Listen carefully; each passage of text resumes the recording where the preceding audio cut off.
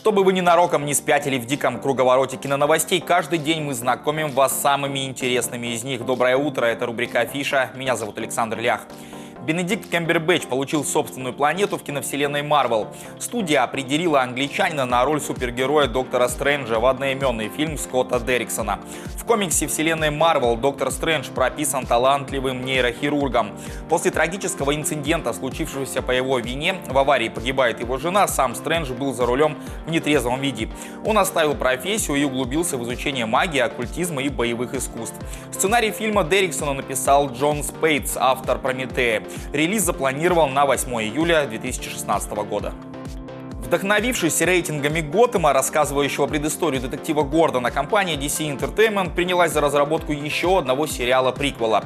К проекту под названием «Криптон» приписан автор «Человека из стали» и «Темного рыцаря» Дэвид Гойер. В комиксах DC мир родной планеты прославленного супергероя достаточно подробно описывался в цикле The World of Krypton и получил развитие в сюжетной линии, опубликованной в 1985 году. Разумеется, создателям нового ТВ-приквела придется учитывать предыдущий материал.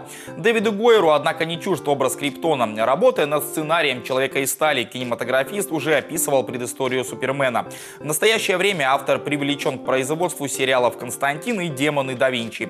Он также написал текст к грядущему кинокомиксу «Бэтмен против Супермена. На заре справедливости».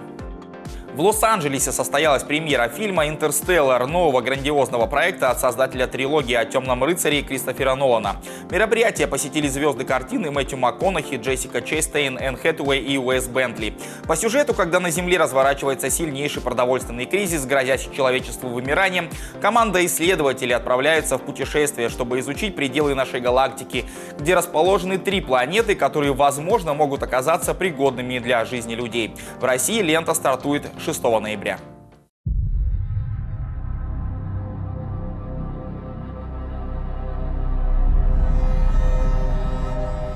Что ты с ним сделаешь? Заставлю его трудиться на благо общества. А нельзя его отпустить? Этой штуке придется приспособиться. Надевайте маски. Как и всем нам.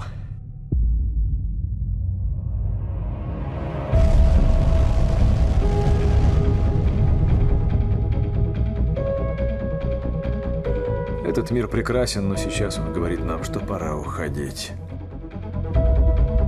Поколение твоей дочери станет последним на Земле. Ты был нашим лучшим пилотом. Действуй и спаси их. Все готовы попрощаться с нашей Солнечной системой? С нашей галактикой. Поехали.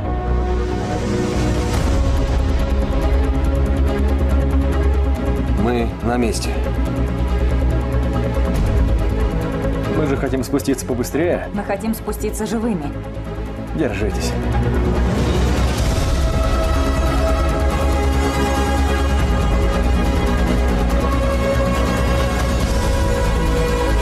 Это наша миссия. Плана не сработает, если люди на Земле вымрут, пока мы его выполняем. Наши мозги привели нас сюда, дальше, чем кого-либо в истории. Но этого недостаточно. Чего вы ждете? Там, у тех скал! Это не скалы. Это волны. Я не успею! Нет, успеешь. Ты успеешь!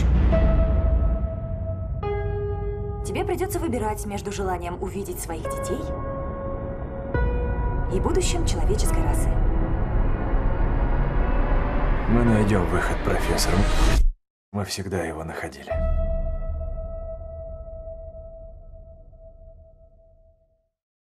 Время узнать победителя вчерашнего розыгрыша билета в Малый зал октября или кинотеатр «Комсомолец». Напомню, нужно было угадать актрису, изображенную на фото. Это была Николь Кидман. И первым правильный ответ прислал абонент МТС. Последний цифры номера 2359.